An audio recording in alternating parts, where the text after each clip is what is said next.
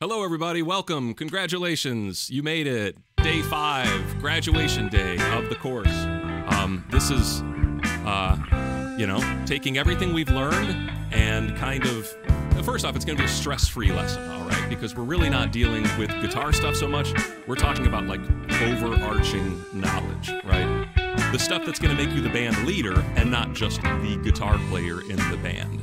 So we're talking about arrangement and you know uh, understanding band arrangement. You know, it's it's not enough just to be able to play this stuff on your instrument on the guitar, and that's why I'm not even holding the guitar right now. I've actually got a bass in my hands. So what we're going to take a look at today are the following things. We're going to take a look at the role of the bass guitar. What should a bass player be thinking about and doing? And you know, this is very surface level information. We're not doing a whole bass course, just kind of the the surface level information that every guitar player should be aware of this stuff. We're also going to take a look at uh, you know the difference between a walking line and a rhythmic line. I'm going to demonstrate to you what those things sound like.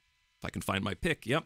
Um, also, a little bit about drums and rhythm, and you know the role of your drummer. How could you communicate some of these basic ideas with your drummer, and what should you maybe th- be thinking about? And same thing with keys, you know, keyboard player, organ, stuff like that. So very, very basic ideas when you start taking this outside of just you know your practice room and into the real world on stage. Uh, arranging rhythm guitar. A lot of times it's not just going to be you as a guitar player on stage. You're going to be sharing that stage with another rhythm guitar player a lot. And you want to be aware of how your rhythm parts can interact with another rhythm player. So you're not always fighting with each other, you know, and a lot of times you have to share space with each other. We've already talked about playing lead and playing rhythm, but what about when you're both playing rhythm? Then, lastly, some advanced topics. You know, some things that go beyond the very basics here, and uh, you know, next steps for you because this is a crash course. This is. I don't want you to think that you know you're a blues master now, but I think that you should be. If you've really practiced everything in this course, you are adept. You are, you know, capable of getting up on stage confidently, and as long as you have the stuff practiced and memorized, you should be able to do your job.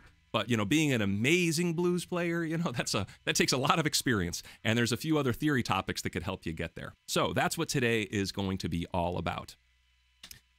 Starting off, what about this bass guitar thing? So um, keep in mind, I'm a guitar player. I am not a bass player. I know enough bass to, to record and to produce and to criticize others, you know, that kind of thing. So any real bass player is going to give you way better insight into this kind of thing that I am. And once again, this isn't a full course, just some surface level stuff the bass is supporting the chord. Okay, so like if my chord is playing an A, then my bass probably going to play an A. And in a 12 bar blues, when it switches to D, my bass is probably going to be playing a D. And when that 12 bar blues hits an E, I'm just going to be hitting the note E. So that's like stupidly simple, right? All I'm doing is just playing the root notes. And I want you to hear what that stupidly simple thing sounds like. Here's a blues in A with no bass, all right? No bass. And it sounds fine, right? But can't you hear that there's like a lack of floor? Isn't there something missing? That's gonna change as soon as I put in the bass, right? And all I'm gonna do is just, you know, play the root note, A. I'll just do steady eighth notes. E. D. A. There's a turnaround, E at the end. Notice I did a low E that time. Right, so basically, you can hear all I'm doing is just playing the root note, and it gives each one of those chords a lot of support. But we can kill the graduation day thing. We don't need that anymore. Um, but what we want to take a look at is, uh, you know, playing the thirds and the fifths. Or let's switch to this first. Let's take a look at rhythmic variation. We're going to stay just playing the roots. That's all I'm doing. Nothing fancy, all right? Just playing my root notes. But I'm going to give it some more rhythmic groove, okay? Like instead of just playing straight eighth notes, listen. Three, two, three, four, A.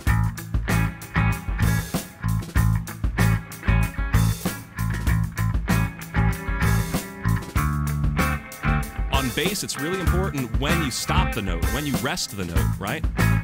By resting the note, it's almost like you get punched with those bass notes. But by letting them ring out, they really sustain. It gives you like that floor, but you can really just get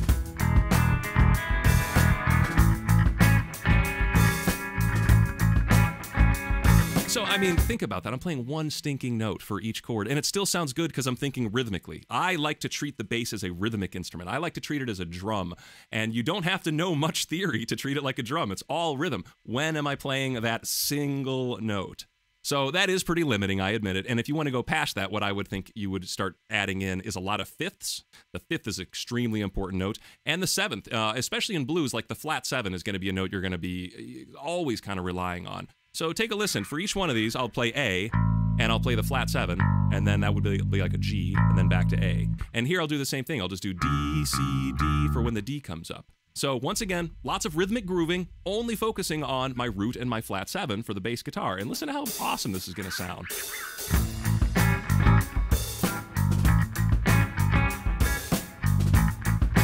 Here comes the chord change.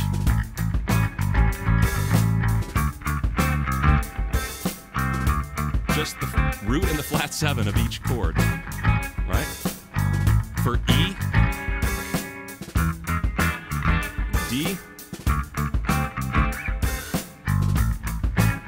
Really, really simple idea, and it sounds fantastic. Let's throw in a little bit of fifths there, a little bit of thirds there. Think of the entire arpeggio, all right? The the A chord, the A7 chord is happening underneath, and the notes of an A7, we've got an A, a C sharp, an E, and a G, all right? A, C sharp, E, G, those are the notes of my A chord, or A7. So I could play all those notes, and they'll all sound good on the top of there, like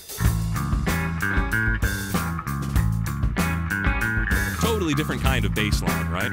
But these notes I can still rhythmically plug away on. Here they are on D, the notes of a D7. But let's stop arpeggiating it. Let's just do like.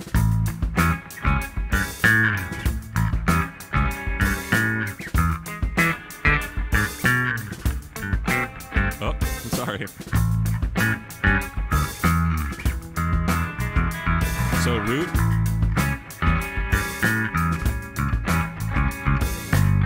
Doing is the notes of the arpeggio here.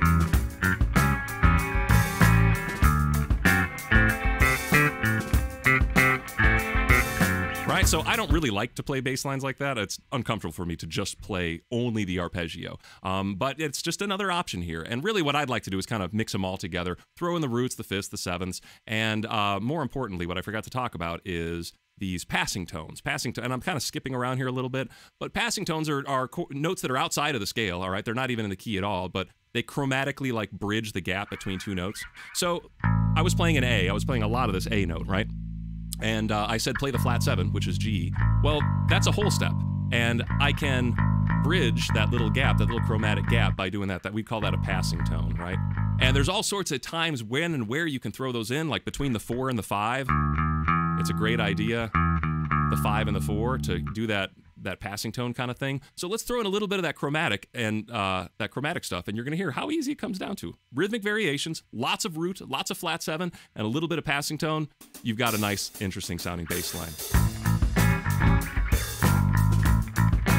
You hear that again?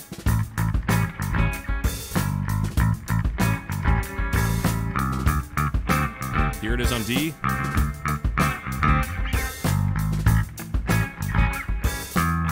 There's the fifth. And now up to the five chord. Passing tone up. And now down to the five.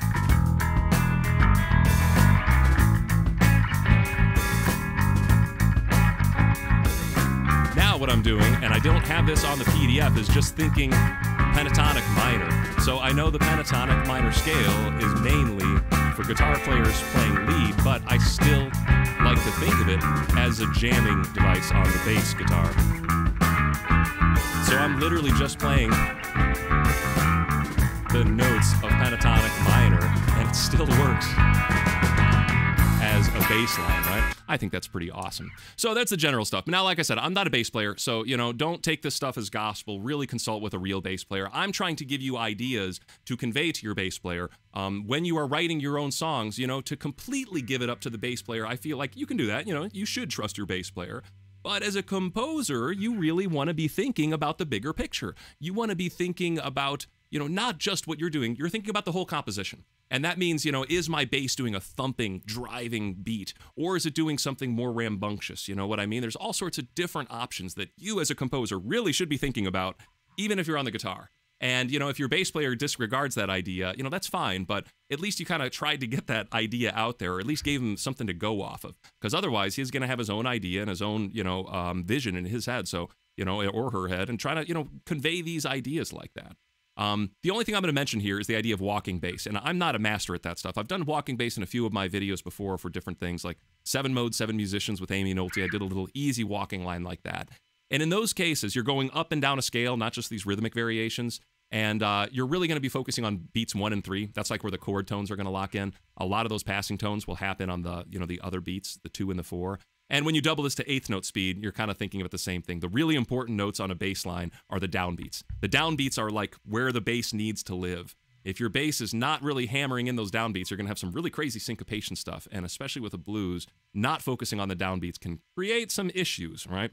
So that is the general idea of working with the bass. And uh, like I said, if there's any bass players like Okan, forgive me, Okan would, could give you a much better lesson on this kind of thing in general. But like I said, general stuff for the guitar player. We're guitar players. We don't need to think, you know, you don't need to be a master of bass unless you want to. But moving on, the role of the drums. And here's what I want to pull up for this. Um, really simple stuff. Okay, we're not going to go too deep in this once again. I'm only going to really talk about some really core basic topics here. And one of them is, let's see here. I want to talk about shuffle and swing and the way you want to be talking about shuffle and swing, because I wasn't quite honest with you last time when I mentioned uh, swing being based off of a triplet grid. The truth is, it's not always based off of a triplet grid. Sometimes it's based off of other things as well, and I'd like to show you what I mean by that. This is a steady 4-4 beat. Oops, hold on one second. Let's mute this. Turn this back on. Oops. And let's slow this way down. We've got some like hyper mega fast rock going. 45 beats a minute, and I know that seems really slow, but take a listen. Okay, do you see what's going on here? This is a basic rock beat. Every one of these is a quarter note. Quarter note, quarter note, quarter note, quarter note. One, two, three, four. One, two, three, four. And if you notice, the snare drum is hitting on the two and the four. That's the backbeat. That's like uh, listen to you know any song right now. I'm serious. Nine ten, uh, ten songs you're gonna listen to right now. If you count along, you'll hear the snares hitting one, two, three, four, one, two, three, four. That's the backbeat, right? And it's a pretty common thing to do. And notice that every one of these quarter notes has been split evenly into two even eighth notes. This is the straight eighth note we talked about in lesson one. One and two and three and four and steady notes and steady notes. So what happens to make the swing, here is the easy way to think of it. We instead of doing two notes per beat, we do three notes per beat. And that's what we are seeing here. Now stay with me here. I know this is a review, but I want to talk about, you'll see where this changes. So every one of these is a quarter note. One, two, three, four. And take a look. For every one of these, I've done three notes per beat. So I've got one, two, three, one, two, three, one, two, three, one, two, three, one, two, three, one, two, three, one, two, three, one, two, three. Right? Cool feel. It's got a triplet feel to it. Now, by deleting the middle note of every grouping of three. You see that? So one, two, three, one, two, three. I'm just kind of knocking out that middle tooth there, right? And what I'm left with is the classic swing or shuffle. A one, a two, a three, a four, right? So that's how I describe to you where the shuffle's coming about, and that's where you can see it. It is based on triplets. So when drummers are doing drum fills, a lot of times they will do um, triplets as their swing as their as their drum fill. So they'll do one, a two, a three, a four, a one triplet, two triplet, three triplet, four triplet, one, a two, a three. Because that swing fill is all based on triplets. And as a lead guitar player too, you want to be thinking about that. If you're going to be, you know, doing some cool fills in a swing groove, triplets are where you want to be thinking. But that is not the only kind of swing. This is a robot swing. This is literally a computerized AI swing. There's nothing uh, soulful about this swing, yet there are lots of soulful swings out there. And let me show you the variations of this, okay? This right here is actually a shuffle beat. You hear it? One, a two, a three, a four, a one, a two. It doesn't look like a shuffle beat though. Do you see? It looks like straight eighth notes. And that's just because we've told the computer, hey, shuffle this. Just like real music. A lot of times real music looks like it's written as eighth notes. But it says somewhere on that music, swing it, or shuffle it, or it's got the little symbol, you know what I mean? And that means, hey, you are not going to play these as straight eighth notes. You're actually going to play them as shuffled eighth notes. So we've told the computer here to swing these eighth notes, and this is what we get one, a two, a three, a four, a one, a two, a three, a four. But we can adjust how much is it swinging. This is a pretty moderate swing. Let's crank it up here. And reason I've got this groove function, and I can change this slide knob to increase the amount of swing. So let's listen to what it sounds like by cranking this knob up Oh, now it's straight again. I accidentally reset it. So let's slowly crank it up. Here's a little bit of swing. You hear that? That's like a sickly swing.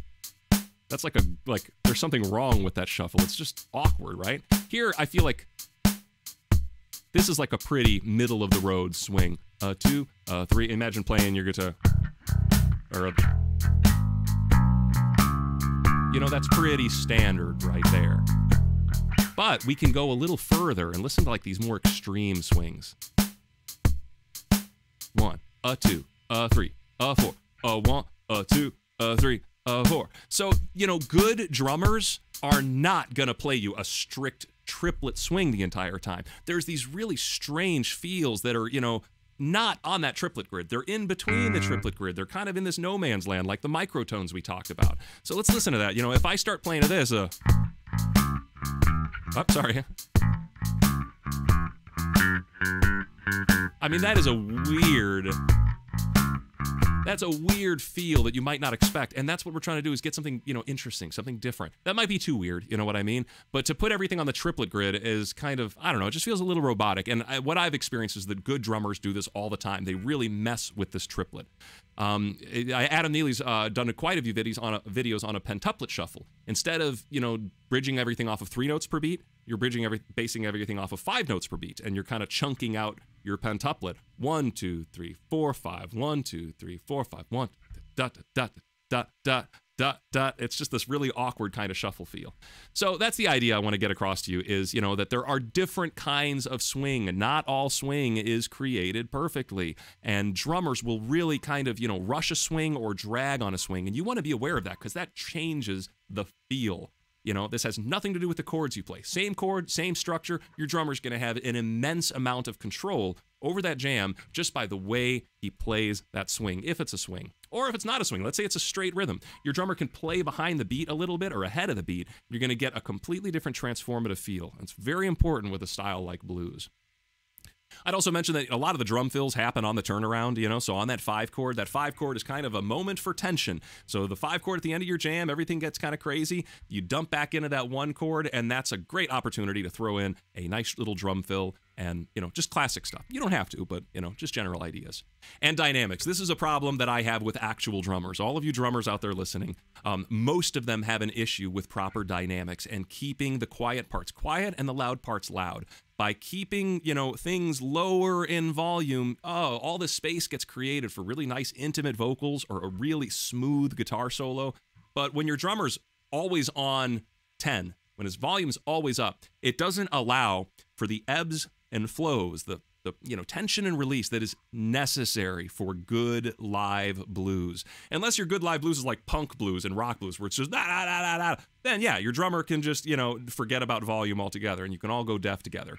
But you know, in most songs, you want like emotion. You know, you want to feel something, and that's where that push and pull comes. Dynamics are so stinking important, and real drummers, you know, real good drummers get this. Um, but us guitar players, we might not be thinking about it so much. And you want to be thinking about the dynamics of your drummers and when should things tone down so your guitar solo has more space? When should things ramp up so your guitar solo has more support? You know, the completely different variation right there.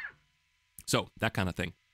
Um, next, the role of the keys. Now, I am a horrible keyboard player, but I could get away with playing in a very bad blues band uh, you know, just in, by spending like five minutes figuring out my chords ahead of time, like, oh, this is the one chord, here's the four chord, there's the five chord, you know, and just kind of plucking around on those notes. Um, the first thing I want to mention is the piano can completely support or carry a rhythm section. Get the guitar out of it totally, and you can just kill a 12 bar blues on the piano. There's so many more options that they can do. They can comp like we do. You know, we call it strumming on the guitar. piano player might just call it comping. You know, their left hand's bouncing on the bass notes, the right hand's, you know, freaking out on the triads. They're even playing leads at the exact same time. Really hard thing for guitar players to do. So a piano is basically a one man rhythmic section. Um, and they can also play these close voicings that guitar players just can't do. You know, if I try to play a 13th chord, uh, you know, it's going to be really hard to get every single one of those notes. Actually, it's impossible uh, to get every single note on a six string guitar ringing out. Where a piano player can do it. They can also get these really close, chunky voices that are nice and dissonant for blues flavor that you just can't do on the guitar because of the tuning of the instrument. And that works really good on the piano, but it also works really good with an organ sound. Uh, anytime you're playing around with a piano, just try switching it to the organ patch instead and hear what that is going to do to complement your blues jam. It's going to work. I promise you, it will always work broken chords too. And, you know, instead of playing the entire chord, the root, third, fifth, flat seven, root, you know, just play maybe just the third and the flat seven, bum, bum, those two notes together ringing out at the same time give you these little chord stabs, right? Tiny little chords, baby little chords, little dyads. And those work really well on the piano. They work well on the organ as well. You know, you can do it rhythmically. Can't uh, think of how many times you've heard the piano just do dun dun dun dun dun dun dun dun dun dun hammering hammering away at eighth notes. Or they can do more sustained things. You know, the organs really let those notes and chords ring out the whole distance. So plenty of options there. Now, I am not a keyboard player. However, I know an incredible, amazing keyboard player, and I'm going to ask you all to bother him for me. I am going to type into the chat right now um, his YouTube channel, and I want you to go to any one of his videos. How about the newest video he has? And I want you to go to his channel and say, "Hey, can you make a easy, quick, short video on how to do this on the piano? Like some, how do I do a 12 bar blues on the piano?" And that's only if you're a piano. Don't bother him if you're not actually interested. But if you are a keyboard player and if this is the kind of thing like you need good instruction on, talk to my friend Moog Lee. He is an excellent piano player, and I'm trying to convince him to make more YouTube stuff. So this would be a good opportunity uh, to check his things out. So um, that is the idea of the role of the keys. Hopefully, Moog will help us out in the future. Maybe if you're out there watching Moog, you'll actually uh, fire up a live stream tonight and start teaching us a little bit about one, four, five chords on the piano. Now, next is going to be arranging rhythm guitar, okay? And I think I'm going to switch over to my guitar here. That would probably be a wise idea, right?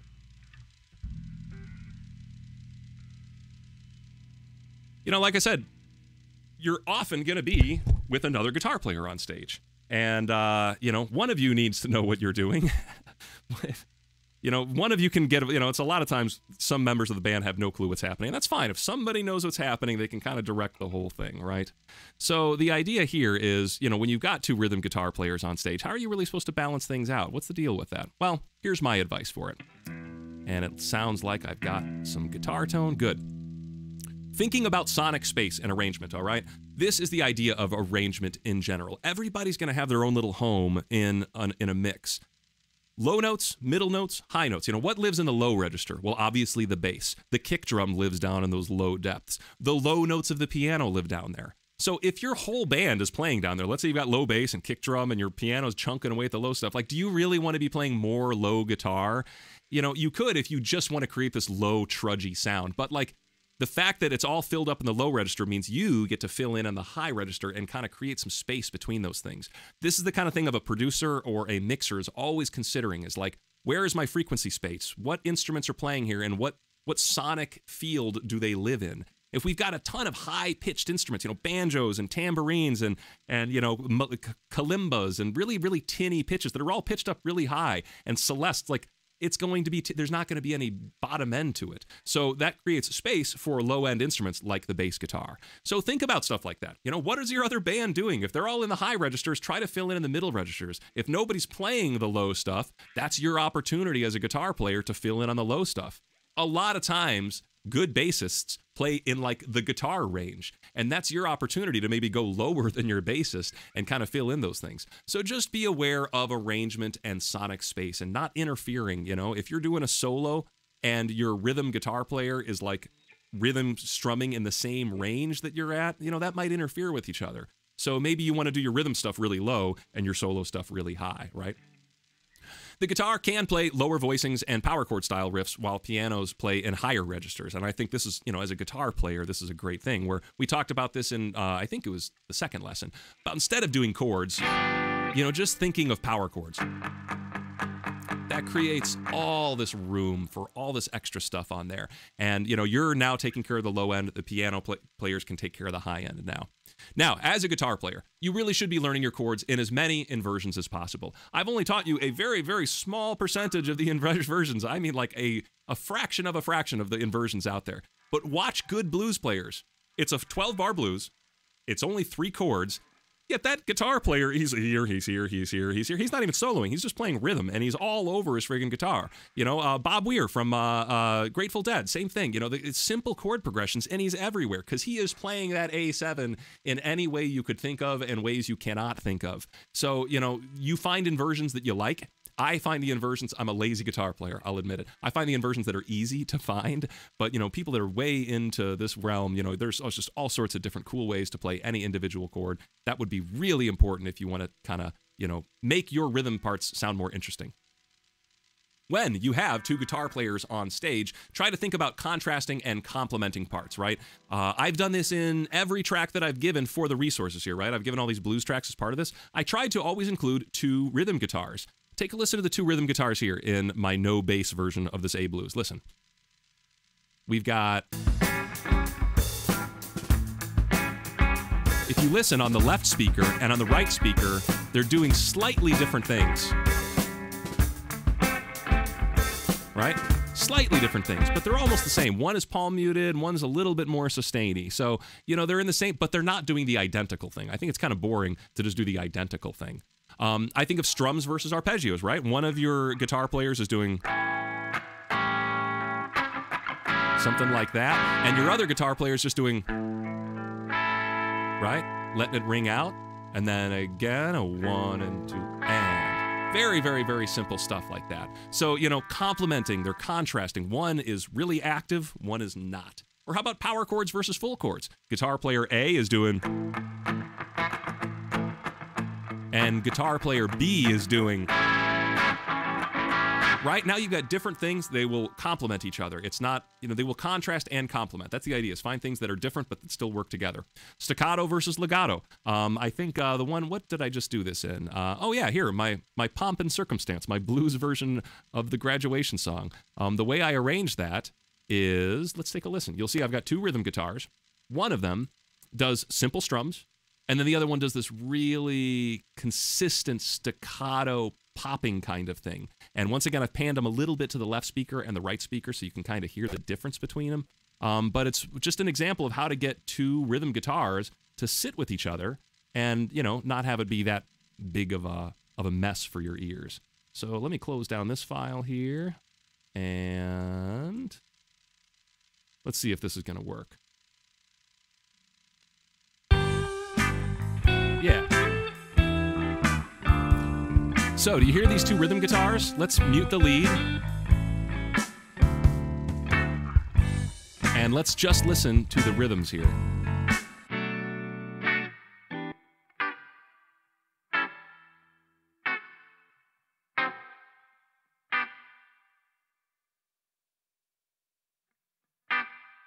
I just realized you couldn't hear anything I said for that last moment. So let me try that again. Um, the idea here is that these uh, these chords are just doing the backbeat, the th- two beat and the four beat. One, two, three, four. One, two, three, four. Right? That's one of the guitars.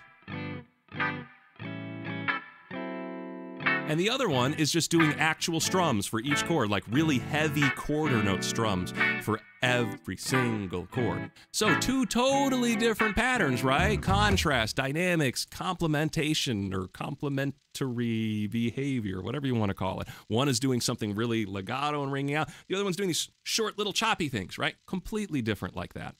So, uh, during lead sections, I want you to keep in mind that, you know, let's say you're ripping out, you know, shredding on stage, the spotlight's on you, everybody's freaking out.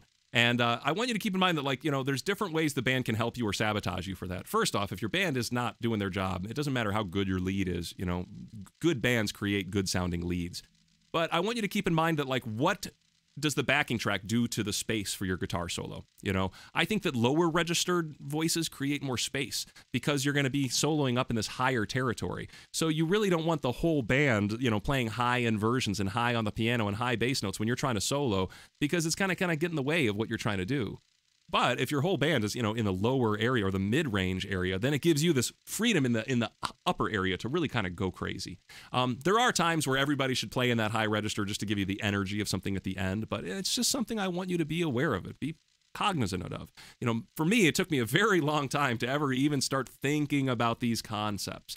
So, you know, the idea here is even though you know blues guitar, you still need to be a blues musician And all the knowledge in the world, I said in one of these earlier videos, yeah, knowledge is power. But, you know, the truth is, all the knowledge in the world isn't going to help you without experience. You need to know how to you you have to have been there. You have to have felt it. You have to have screwed up live. You have to have, you know, seen it and smelt it and touched it with your own fingers.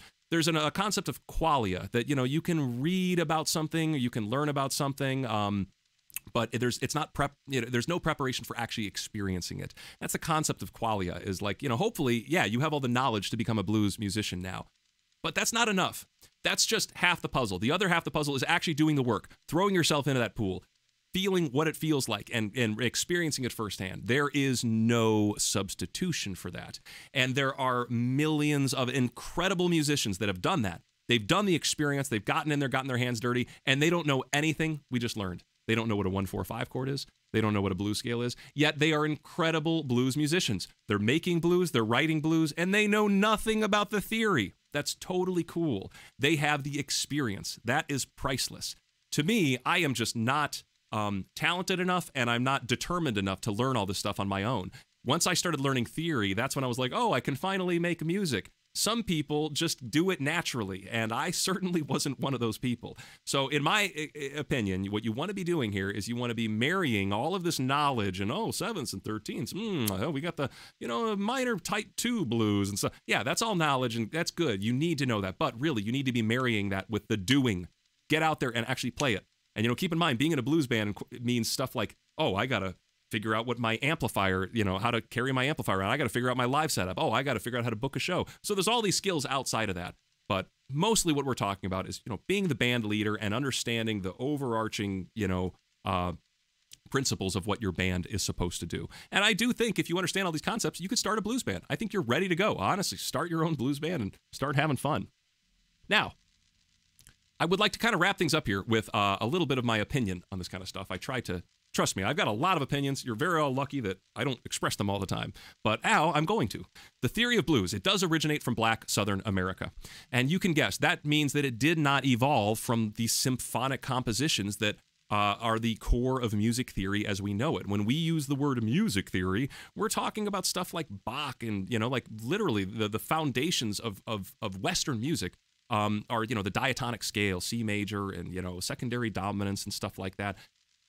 Blues doesn't care about that. Blues was never written like, hmm, what key signature should will this be in the right, uh, you know, range for my cello? No, blues was written from the heart. It was written from the soul. It was an artistic expression, and it was an artistic expression so um, relatable across the world or across the planet that people started learning it and they started dissecting and they started figuring, well, what the hell is this? Well, it's clearly not Bach stuff. I see no major scale in here. I see no. So it's a different kind of music. And what we decided to do is use music theory to describe it. We now can look at this creative thing, this thing that exists as an abstract piece of art, and we can try to analyze. We can say, oh, it actually consists of lots of dominant seventh chords. And we notice that a lot of the melodies consist of the pentatonic minor scale. And we also notice that uh, there's a relative, it's related to major because the chords often use one, four, five changes, which comes from the major scale. So what I'm trying to say is that we are describing blues through Western music theory, but it took me a long time to realize like the blues is not music theory. I remember thinking like, wait, major and minor, you can't do that. I don't understand how like it's it's blues. We are just using music theory to describe it. Music theory does not tell you what to write. It's just a way to classify and and you know categorize and label. That's all. That's all theory is. And by doing that, it just makes me, helps me be more creative. And I know a lot of other musicians are in that same boat. So, um, in my opinion, I've mentioned this in this course. The real heart of blues relies on dissonance, specifically the clashing of the thirds. I want to make an entire video just called The Clashing of the Thirds. It's that thing between the major third in the root and the minor third on top. I feel like that's the number one um, uh, you know, person to that's that's the suspect, the number one suspect for creating blues harmony. I would pin it on the minor third or the sharp nine or whatever you want to call it. The second suspect, I'd say, is that flat seven. I'd say that's a very important part of blues harmony. Um, and yeah, that's basically, I just kind of went ahead and said this. Uh, you know, those other tones like the, the flat seven, the sharp nine, the tritone, um, those all can sit on top of my major tonic and the major tonic won't collapse. It just colors the major tonic. It's got a lot of support there. It's a good foundation, that major chord. And you can just blues it up by adding in all those other notes there. All right. So um, I believe yeah, let's here's some fun stuff. Okay, let's say you've taken all this and okay, you get it. You want to go to the next step because, like I said, this is a crash course. Where should you be thinking about from here on out? What are the next paths that you should be, um, you know, approaching, and what door should you be opening? Well, extended chords. I only taught a few extended chords. The ninth and the thirteenth chords are only just a few examples of extended chords. So chord theory, and the way you're gonna get good at chord theory jazz. Jazz is like the king of chords. No um, style of music is going to be more into weird chords and chord variations and substitutions than jazz. And I am not a jazz player. I don't hate it. I just it's I just never got addicted to it, so I never really dove into it. Um, I know enough to teach, and I know enough just like the basics, and I know enough to not embarrass myself most of the time. Um, but really, if you talk to a jazz teacher about this, they're going to go, "Oh, you think a 13th is a substitution? Let me show you a real substitution." They're going to give you all these crazy ideas. So the jazz and blues are very closely related you know very very close in a lot in historical ways and musical ways so if you like the blues then the jazz uh, will supplement your blues uh, knowledge learning more jazz will just enhance your ability to write better blues you're also going to want to know arpeggios you're going to need to know and memorize your arpeggios if you're going to be a better lead guitar player because we don't want to just be noodling over every single uh, chord. We want to be playing with those changes. So, you know, playing melodic leads means highlighting the notes of the chord. When a D minor 7 comes around, can you play? Oh, I guess I can't because my guitar was turned off. Can you play the notes of a D minor 7 chord um, when a D minor 7? And you should have at least one way, at least one way to do that. And then, you know, obviously there's going to be millions of ways to do that of the guitar. And good players have a billion ways to play a minor seventh, major seventh, dominant seventh, all that stuff. The modes of major. You should know your modes of major. I don't care what genre of music you're talking about. Modes are pretty stinking important, and they give you a lot of different cool choices. So, uh, understanding the modes is going to allow you to access different flavors, different kind of tastes, slightly different tastes. Dorian is great. It works really, really, really well in a minor blues, in my opinion. Also works great in a major blues. Um, and Mixolydian. Mixolydian is fantastic for major blues because Mixolydian has a root. It has it has a it's a major scale. All right, but it has a flatted seven. And we talked about you know how important that flatted seven is there. And we know that all those other notes seem to work over a major blues. So Mixolydian, Dorian, great options, but I wouldn't recommend learning them all on their own unless you're understanding like the modal concept in general. So studying modes will enhance your blues leads. And bebop scales. By adding in an extra note to our modes, we get these bebop scales. For example, take our major scale. Our major scale has a, uh, a natural seven, right? But if we give it a flat seven and a natural seven, so we're adding in a flat seven, what we get is. And hopefully you hear that's got a nice little jazzy blue, you know, flavor to it, a little bluesy flavor to it. Since the jazz and blues are so closely related, these bebop scales are going to help you out. Um, I haven't studied them as much as I should. I will, you know, openly admit uh, I have a tendency to just kind of BS it and say like, "Hey, I found a place to throw in some chromatics, so let's throw in some chromatics." You know, that's a, a lot of the bebop scales you realize are just you know an extra chromatic gap. They're all octatonic. They all you know have eight notes, and um, you know, fun scales to play around with though. So that's where I would think about going next if you would like to take this to the next level, and then you could be teaching your own course on uh, advanced or on uh, playing blues guitar. So, congratulations. Now you can start a blues band legitimately. I mean, you need to practice this stuff first. You can't just do this with knowledge alone, but this is enough knowledge. So, once you've practiced this, you could easily start a blues band. You can play along with nearly any blues song. After the first round of 12 bars, you should be able to be like, got it. And then, as long as you can see where the guitar player started, oh, he started on the second fret, it's in F sharp. Or if you've got perfect pitch, which I don't, you know, you have once you know where they start, you should be able to figure out the rest of that jam. Deducing the chords of any 12 bar same thing. You should be able to write them out on page because you should be able to hear oh they switched to the five. Oh they switched to the four uh, improvising rhythm and lead you know in two different flavors. You should be able to do lead in major and minor. This is all stuff that we've taught. It should be an easy thing for you to confidently say yeah i'll play lead on that solo. Yeah i'll take the lead there. To take an existing blues jam and modify it. Let's say you're doing an old classic right? An old song that you like and you're doing it with your band and you think yeah that's kind of boring. I'm sick of these seventh chords, you should be able to spice it up with your knowledge of substitutions. And instantly identifying the one, four, five chords of any key. This is not just for blues, this is for like everything else. you're going to need to know how to do that. So I, you know, uh, that's a skill that you should be practicing um, outside of the blues. One four fives, you should just be able to name them off like your address. And um, writing, you know, writing the structure and chords for an entire blues song. This is something you can do. Instead of playing covers, you know, you can write your own actual blues composition that is unique, that is expressive to what you want to tell people because you're singing about the things you want to sing about. You're using the instruments you want to use, the arrangements you like, the rhythms you like. So even though, you know, this is all based on a very simple structure, you can still make it absolutely yours and unique. So Congratulations. Thank you for watching this entire course. I sincerely hope you enjoyed it. If you enjoyed this course, you need to thank my awesome Patreon supporters for making it possible. This entire free five day course is sponsored by my Patreon supporters. You got to know, I get business offers every single week, multiple ones every single week about putting an ad at the beginning of my video and taking lots of money that I could really, really use but it just ruins everything for me. Um, I've got these Patreon supporters that are willing to support this, and they deserve. I mean, they're my sponsors, you know, so they deserve uh, a huge, huge amount of thank you if you actually learn something from this course. So thanks for watching, and now, um, yeah, bye. But now today we will do uh, a little question and answer afterward because we're all wrapped up here. And as the delay is slowly winding on out, I'm just going to scroll up here a little bit and uh, say thank you to everybody for your joining. Um, but yeah, there's this long, long, long delay here. So I'm going to come back up here. If you did have questions from earlier, now would be a good time to ask them. I'll try to answer just a few of them here, and I'll try to catch if there's any I missed from before.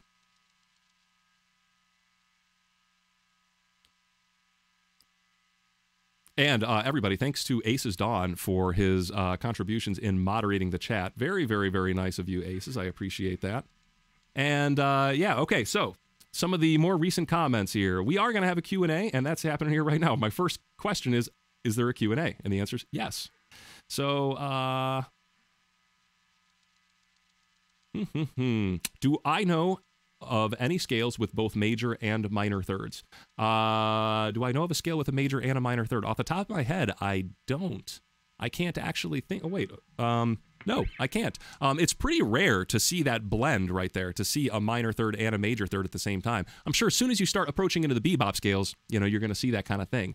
To me, I think of like when I'm thinking blues, I'm thinking of the third as a movable third. I'm thinking the third it could be a minor third. It could be a major third. I'm not thinking of it as like a scale where you must hit the minor third and then the major third. I'm thinking of it as an option. Whenever that minor third comes, I have the option to whoop, flip it up into a major third, and I get that wonderful little honky tonk. Right? I just love it.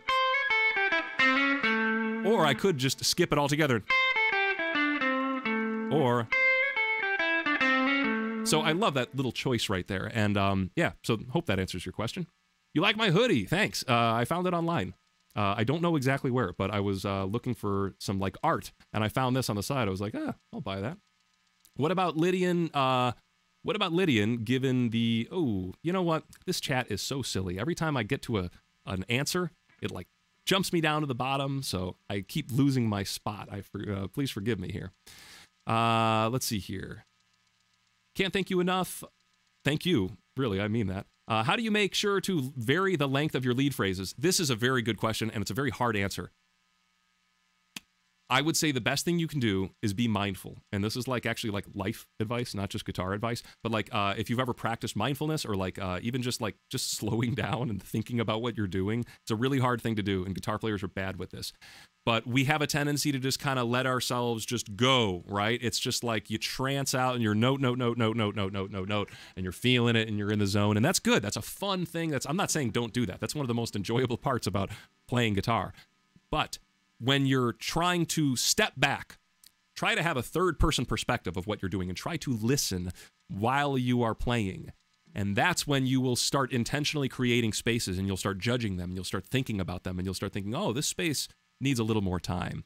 And this space doesn't need more time. But that means you're like your brain is in conscious, uh, uh, you know, observing mode while you're playing, and that takes so much practice. And it's not even that fun sometimes. I'll be honest with you. So it's a very good practice, and I do enjoy doing it. But it's a whole different skill set, and it's different for your brain. Um, if you've ever practiced any form of mi- mindfulness, though, I do think you will see um, the same kind of thing going on there. That being mindful while you're playing and trying to just like observe what you're doing, not do it, but just observe it. And that will create spaces naturally, and you will start seeing the kind of relationships between them just a little bit better. Um, I see that some people have donated here. Uh, I don't know if I'm going to be able to see everybody and get their names correctly, but I do see Jared donated. Thank you, Jared. Much appreciated, man. Man, you're already on my Patreon. You're too kind. You're double donating here. Um, some more questions here. What about Lydian, given the blue note, is the tritone? what about Lydian, given the blue note? I don't know what the question means. Um, the blue note just usually refers to the word tritone, uh, but I, some people, that's like a thing that, depending on your music teacher, you might get a different answer. To me, the blue note has always been the tritone, and it refers to the tritone in the pentatonic minor scale or in the context of blues. But uh, the tritone, yes, does occur in Lydian. I've never thought of it as a blue note in the context of Lydian because I don't think of Lydian as that bluesy. What are your thoughts on the caged system? Because I hear some players love it while others find it limiting. I heard some players prefer to simply learn the triad shapes than learn the cage shapes. I love this question, Troy. You asked two really good questions for this stream. Thank you. Um, I think the caged system is pretty awesome, but I don't even know it that well. Okay. My version of caged is like this bastardized version of it that really isn't the verse. I just use it as a way to connect shapes, major shapes all the way up and down the neck, and minor shapes. But I haven't learned all my caged shapes with scales. Um, to me, it's an important topic to look at to kind of I don't know, get the surface level of it and figure out do you really want to go down this route? I don't think it's any better or worse than three notes per string. I don't think it's any better or worse than any other system. I feel it's very beneficial to have three notes per string shapes and some caged shapes and some arpeggio shapes. Like it's all the same stuff. Um, but there's this whole system of caged teaching that I am not familiar with because I wasn't taught that way. And I never learned that on my own. I figured, okay, I could go down this deep, deep rabbit hole of uh, learning this specific, you know, way of doing this. Uh, but I just never did. I figured like if I need to, I will. I do know there's a great, I wish I could remember his name right now. I apologize. But there is an excellent lesson here on YouTube on the caged system. And I was going to make a video just like sending people to it because it was such a well done video. And I could never teach a video about the caged concept that well. So I say it's good stuff. I don't believe like so much in like, I think you should learn lots of things and then throw away the stuff that works for you because certain systems are just going to naturally work better with certain kinds of brains, right? And I've got a certain kind of brain, and one system might work better for me than it does for you. Um, I always hear learn your arpeggios. Uh, are they not just picking single notes of a chord? Yes, they are picking the single notes of a chord, Navi. That's a good question. But the thing is, is that those notes are all over the guitar. Like here is an A major chord. And yeah, I could call this an arpeggio. But that doesn't really sound like a guitar solo, does it? It sounds like a guitar solo if I like individualize each note, play it one note at a time. Now, now it's starting to sound, you know, it's starting to sound a little bit more like an actual, uh, you know, lead because I'm not just playing a chord. So the idea is that everything is a chord, right? If you can find where those notes are on your fretboard, then when you play them one at a time, they're going to work really good as a guitar solo. So my suggestion is practice your arpeggios over chord progressions and you'll start hearing how they work so well as lead devices. Ziggy Protecos is saying you mentioned different inversions and voicings. Will you make a video on triads, voices, uh, voicings, and inversions? How to create chords?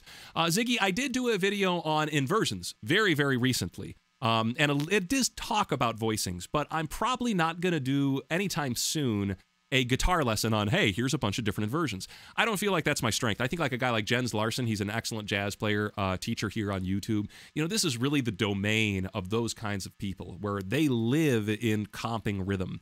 And I kind of, you know, I've taught almost everything I can to you already in this course uh, when it comes to this style. I took my blues to a certain point, and then I just kind of stopped because like I got as good as I wanted to get. I never wanted to be a blues. I mean, it would be great to be a blues master, but it wasn't my main drive. So I really never pursued it past this point. And if you wanted to, a guy like him would probably be the one to consult for that. So um, I don't know if I can really supplement too much for that. CoreTube loves the poster. Thank you, man. So do I. Seriously, the artist that I got involved in that makes me so happy. I think it is just it looks so. I'm looking at it right now, and I just love the Lydian mode and that alien dude staring at the sun. Will you ever do a full video about Locrian, similar to the one you did about Phrygian or Phrygian Dominant? Yes, Wind. Uh, Wind 2000 asked that. Eventually, I will make a Locrian video. It's gotten the short shaft. I haven't given it any. Well, I have to do a Locrian video. I'm doing the riffing with the modes uh, you know, series, which has been severely delayed, but it'll be worth it. I'm pretty sure you'll be uh, okay when you see what it all turns out to. So there will be a Locrian video, you know, this year, depending on how long my riffing with the mode series takes. Do blue songs have to be 12 bar? No, Chintan. CJ asked that. Uh, I don't have any specific examples for you now, but in the last lesson, we talked about the 8 bar blues, and there's plenty of versions of that. Um, you'll just have to look out for your own because I didn't prepare any examples uh, for you. But yes, um, many, many examples that aren't 12 bar. And 16 bar. You can find 16 bar blues as well. Um, I'm pretty sure I am missing two of the people who have donated, and I don't know actually how to find their names, and that bums me out because I want to give them some. Oh, wait, I'll just scroll way up to the top and way down. Andrea Surgon, I saw you in the chat the other day. Thank you, thank you so much, Andrea. And Jonathan, Jonathan as well. I do appreciate that. Um, it's not needed, but uh, or it's not necessary for the course, but it is certainly appreciated. Okay, I'm scrolling up to the most recent questions now. I'm going to start kind of coming backwards here. Should you use the minor four or major four if you are planning to solo over eight bar blues and Dorian? Uh, Last Prism, that's totally excellent, excellent question. When I think blues, I think of the minor four chord because I'm thinking minor blues, I'm thinking BB King and stuff like that. When I think funk, I think major four chord, right? A minor. A minor to D7 would be an excellent Dorian jam. It's like my favorite two chord jam in the in the entire universe. It's one of them. It's just minor one to major four. I don't really think it was a blues jam in that context. You know, when we the word minor blues kind of refers to the minor scale. It doesn't really refer to the Dorian scale. Um, and I'm being kind of, you know, ambiguous here. I'm being kind of cloudy here. These aren't, you know, distinct rules. So I think Dorian is kind of its own thing. I don't really think of it as a 12 bar blues, but you could make an eight bar blues in Dorian. You could make a 12 bar blues in Dorian. Absolutely, totally, you know, totally cool. I would do it. I would encourage you to do it. But people might not call it blues. You know what I mean? They might just call it funk or jazz or something like that.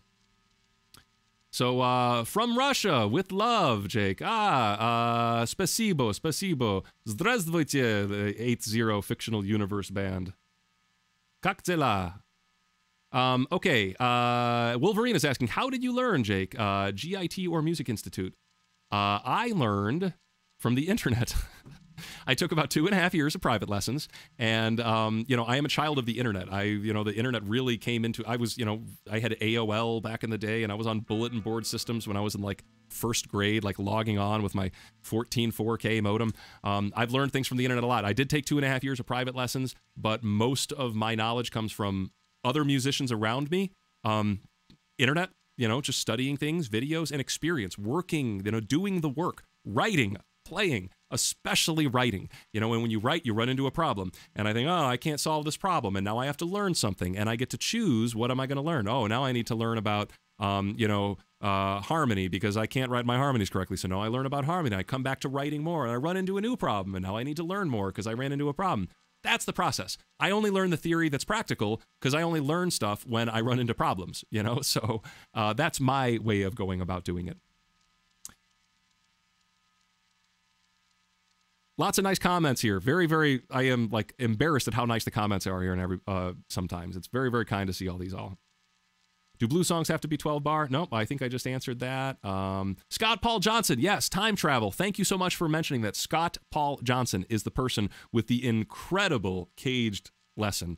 Um, it's really, really impressive. It's like I think about how long I spend making my videos with all the animations and stuff like that. And I looked at his, I'm like, okay, yeah, like he may have spent more time doing that than I do on mine because I think mine take forever. But he did a really, really good job with that lesson.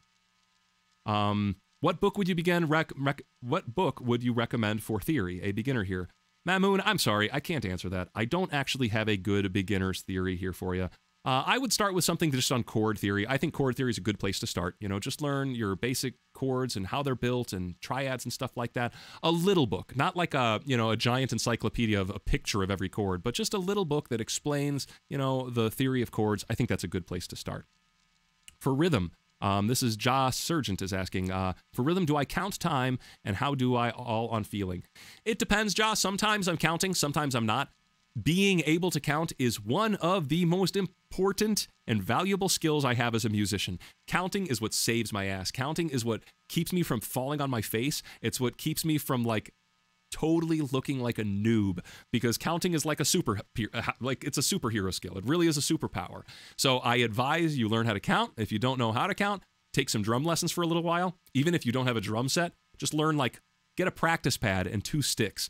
But you need to find a way to get a grasp on rhythm and to me, the way to do that is to verbalize it. That's how they do it in India. That's how we should do it here. It's an incredibly powerful skill, and I can tell you that it's uh, it's irreplaceable. So, um, you know, a lot of counting also means that things become natural, so you don't have to count as much. So, I really only find myself counting when things become really difficult or when I'm totally lost. But it's a skill that I would not be able to live without. What could an electric and an acoustic guitar do together in rhythm? Um, in that sense, David Andres, I would really think about you know kind of keeping the acoustic as the rhythm section and the uh, the lead, the electric as the lead section. Uh, you know, the leads, electric guitars can play a lot of sustained stuff. Um, you know, where like maybe the notes ring out. So just maybe just doing like for an electric guitar while the rhythms are strumming. You know stuff like that works great on an electric guitar just simple arpeggios that's sustained while your acoustic is right? So contrast once again. To learn modes, you must begin with the root, right? Uh, that is the question from Will Shayegens. Well, Will. Um, Will, to understand the modes, you really need to know major. Not only do you need to know the major scale, but you really need to know the chords of the major scale, and you should know at least what a major tonality is. You know, like, what does the major scale feel like? How does it sound? Writing chord progressions in major. If you know major, then you are prepared to tackle the modes. But I think it's a uh, mistake to tackle the modes unless you know major 100% backwards and forwards. Matthias Ganster is asking, where would you advise to start the road to shredding? Uh, good question. I think a great place to start with the road to shredding is three notes per string scales. Learn your major scale, three notes per string. And learn to economy pick your scale three notes per string as well. Um, economy picking is one of the quickest ways to get speed right out of the box, and then those economy picking techniques work really well for little licks, you know, licks that are on two strings or sweeping licks. So uh, I did one of my very very old videos is on economy picking, and I think it's a great place to start, Matthias. Um, uh, you can maybe check that one out, but keep in mind it's an older video. Um, it's not nearly as uh, pretty as my newer videos, but I think the content is still you know, uh, right where it needs to be. Am I strict about who I collaborate with on songs? That's uh, Hetriani is asking that. The answer is hell no. I collaborate with everybody. I've collaborated with five year olds before. I have collaborated with strangers. Uh, I love making music. You, you, you know, I can make a billion songs in my lifetime, and then I work with somebody who's not even good at music. They're not even. They're not. It's not even their thing, and they're making something that I can't make because they are unique. They have their own perspective. That's the whole idea with humans. We're all snowflakes. We all have our own perspective. And legitimately, I mean, you can't write a song that comes out of another person. So I find a lot of value in collaborating with people um, because it's just impossible for me to write. Um, you know, my friend Beardstank, you've seen him on my channel here before doing drums. When I write songs with him, like, I can't do like that's a Beardstank song. There's no way that would ever come out of me. You could give me a million years on this planet and that idea would never naturally be produced. It's not like it's like so advanced and so complicated. No, it's just like it just wouldn't have happened. So that's the value of working with other people. And the more people you work with, you know, the more weirdness happens. So I like spreading it all around there. I think, uh, you know, expand the musical gene pool. Free love. Uh, next week, what are we learning at 3 p.m.? I have not planned out um, lessons for next week. I wanted to get back to making my YouTube videos because I've been working on those in between these, and I've got a lot of editing to do. I've got and I've got a course I'm working on, like an actual course. So I've been keeping myself busy with that. I will probably do some live lessons from here on out while this quarantine thing is going on. I wanted this to be a one week thing. I thought the global pandemic was going to be, you know, uh, well, I don't know what's going on, but this does not look like it's going away anytime soon. Uh, and I will try to make it a point to make some more of these public lessons here in the future, just to kind of give people something to do, um, you know, something to keep them busy, uh, as opposed to just my YouTube videos because those take so long to make. Those are you know two three weeks in between each video. Um, something like this I can just live stream, and as long as I've got the stuff prepared, hopefully everybody can learn something and you know have fun and uh, it's not too time consuming, you know. So I'll figure it out. I'll figure out what we will do here in the future. How to practice moving chord shapes really fast up and down the neck while not breaking the shape. Uh, Grant Cleveland, I gotta just tell you, it would just be practice, man. Uh, practicing with a band, uh, you know, I something like that when it comes to just chord shapes. I just got to think, you know, start slow, build it up, and then start slow again, and build it up fast again. Start slow and build it up again. Anytime the question is how to do something fast, my answer is always going to be the same. It's mostly just practice more and use a metronome.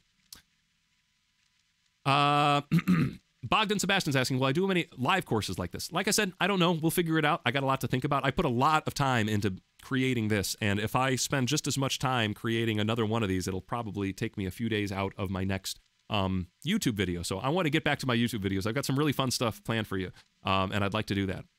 So I'm going to start wrapping things up here pretty soon. It looks like I've gotten to some of those questions, some of the more recent ones. I'm just going to answer a few of these recent questions, and then we're going to shut things down. Um, Will there be a video specifically on augmented chords? Shiver, yes, there will be a video specifically on augmented chords one day. When? I don't know. I am working, that's going to be one of those videos with an intro, and I still need to figure out what I want to put in it yet. Um, so sooner or later, you know, that'll show up in there.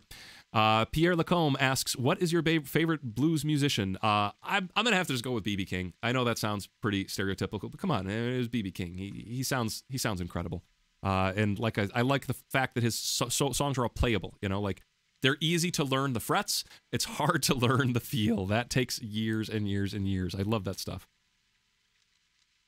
And let's see here. Yeah, I see. Uh, I think that might be doing it. Are there Dorian and Mixolydian blues progressions? I wouldn't call them blues progressions, Renee. Uh, there are Dorian progressions and there are Mixolydian progressions.